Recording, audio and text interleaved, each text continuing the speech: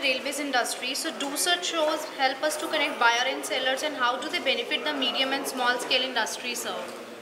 I think uh, the biggest benefit of these uh, seminars and conferences are basically to know uh, what are the new advancements happening in the railway technology, railway industry, and what are the current plans uh, through which all the stakeholders are working and what are the future plans what is the new horizon coming up in this industry so a kind of networking happens knowledge sharing happens and uh, you yourself are then updated uh, on this industry yeah Okay. So are you aware that we are holding our fifth Rail Analysis Innovation and Excellence Summit 2024, which is our flagship award event on 38th January 2024.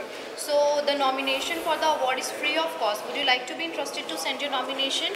Yeah, yeah, that will be really great. Uh, we, uh, Nippon Koei, we have been a partner in this uh, sector from last three, four years. In fact, uh, two years back, we also have been awarded as the best company in the project management uh, area uh, from Rail Analysis. So we are aware. So you can please send that, and we will be glad to extend the possible support and uh, see what kind of a services we can add in. Would you like to say a few words about Rail Analysis?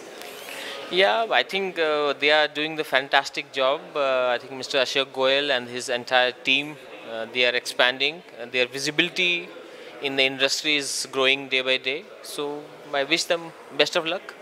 Okay, so thank you so much and time and answers.